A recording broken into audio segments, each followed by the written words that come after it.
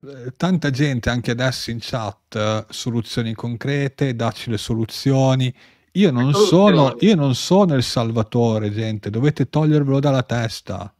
Quello che va fatto è capire che questo sistema al quale le persone stesse ci hanno fatto arrivare fa schifo. Bisogna staccarsi da questo sistema di M. Una volta fatto quello, si costruisce un nuovo sistema dove non comandano i potenti, ma comandano i cittadini. Non dare il potere più a una sola persona, ma ogni persona ha il potere su se stesso. Finché le persone non capiranno questo, staremo sempre in questo stagno di pupù. È vero. Sì, sì, sì. No, perché è una domanda ricorrente e, e doverosa. Cioè, fate benissimo, se non avete mai sentito questo tipo di risposte, fate benissimo. È una domanda molto ricorrente che vedo piovere un giorno sì e l'altro anche. Ne ho fatto un video intero, ne parlo molto molto spesso, tanto è che ho iniziato a fare tanti video, ad esempio quello sull'MK Ultra, inizio parlando della soluzione, così già io metto le mani avanti. Pensate un po'. No, giusto per farvi rendere conto. Con Vincenzo ne abbiamo parlato, ne abbiamo riparlato, quindi va bene, siete nuovi, non l'avete mai sentito, lo ripetiamo. Però vi dico, eh, va benissimo, cioè non è che mi dà fastidio, eh? no, anzi, va benissimo, però vi deve entrare in testa. E perché è molto importante e come sembra impossibile, dovete fare anche voi il vostro sforzo, attenzione, perché noi vi possiamo indicare la via, come disse Matrix 1, vi possiamo indicare la, la porta, siete voi che dovete oltrepassarla, perché se no stiamo qua a ripetere sempre le stesse cose, non è neanche eh, produttivo per quelli che ci seguono da tempo, che sia chiaro. Allora, come diceva Vincenzo, dobbiamo fare il nostro lavoro, fare il nostro salto evolutivo e parte principalmente dalla rivoluzione della percezione, quindi comprendendo chi siamo e il nostro potere, la nostra responsabilità.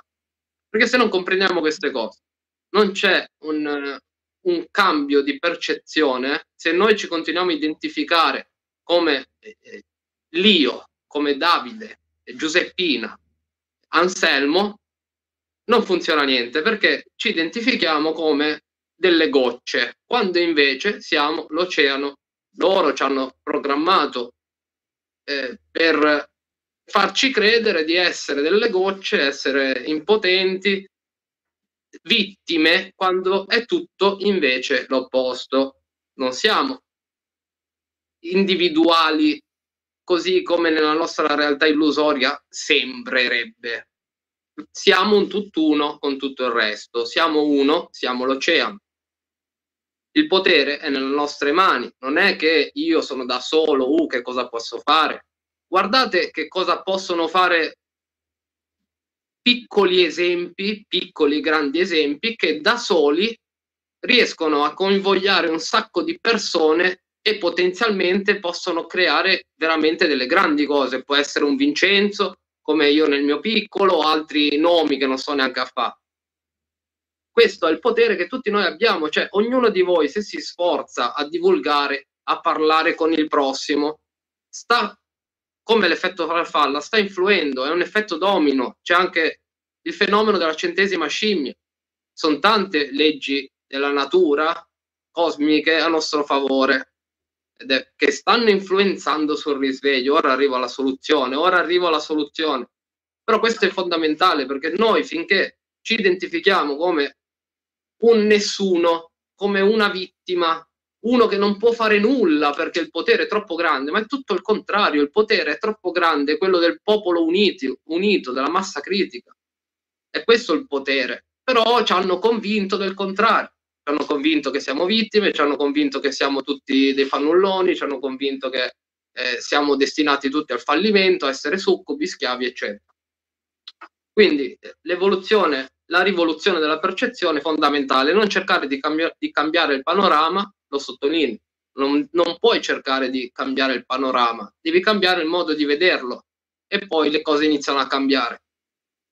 Quindi prima, cioè, questa evoluzione all'interno di noi stessi, è per questo che si dice che il cambiamento parte da noi stessi per poi vederlo al di fuori, per tanti motivi. Vi sto facendo una cosa abbastanza superficiale come, come interpretazione.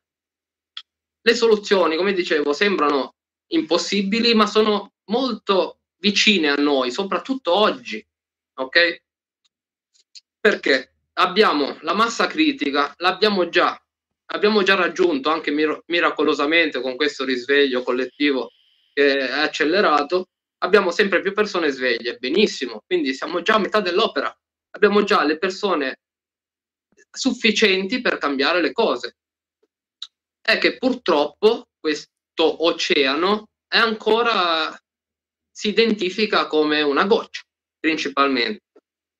E prima di tutto, cosa manca ancora? Manca il coraggio, la coerenza, quindi l'unione di intenti, la comunione di intenti e la coerenza verso un unico obiettivo, consapevoli del nostro potere di che cosa possiamo fare.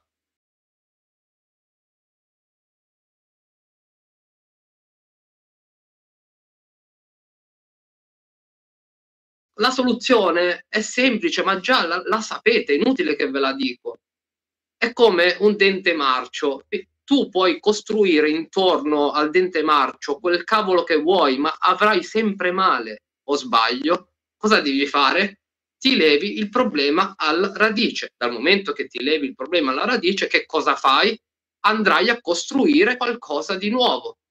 Questo dobbiamo fare. Dobbiamo toglierci tutti i poteri corrotti, partiamo dal nostro piccolo, dall'Italia, per poter costruire quel cavolo che vogliamo che sia veramente costruttivo, etico e giusto per tutti. E chiudo. Uno dei più potenti mezzi di influenza sono appunto i mainstream, i mezzi di comunicazione e con quelli loro fanno il lavaggio del cervello, creano i film, le narrative, la gente ci crede, fa il lavaggio del cervello letteralmente alla gente perché la TV è un ipnoprogrammatore. Se noi arrivassimo, come dicevo, a togliere dalle balle tutta sta gente corrotta che lavora per eh, queste elite, se arrivassimo ai mezzi di comunicazione riusciremmo a salvare anche quelli che sono dati per spacciati, perché con i mezzi di comunicazione possiamo fare il lavoro contrario. Quindi andando a informare e a, a indirizzarli verso la, la retta via, perché purtroppo sono programmati per rispondere solo alle uniformi, i Men in Black e alla scatolina nera, alla TV. Più o meno ho detto tutto, però partite dal vostro lavoro eh, personale. Esatto, sì. Esatto. Ci vogliono tante, tante persone singole che si rifiutano e che sono consapevoli di, di loro stessi e di quello che li circonda. Non tante pecore che seguono una persona, ma tante persone responsabili, eh, autocritiche e che si rendono conto della situazione, che insieme hanno un pensiero collettivo, non guidate da una persona, ma tante con lo stesso pensiero. È questo il cambiamento che va fatto. E non seguire Tizio, Caio, Ciuffo Biondo eh, e l'altro, perché se no torniamo sempre punto a capo. Se poi quella persona viene corrotta o, o non c'è più, che cosa si fa? Eh. Anche quel discorso che ho, ho, letto in chat è giustissimo, tipo Giordano Bruno e Gandhi erano da soli, ma loro erano dei simboli.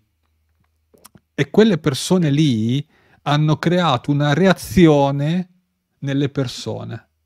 Non è che hanno fatto tutto loro, è perché dietro a loro c'erano tante persone che poi si sono svegliate.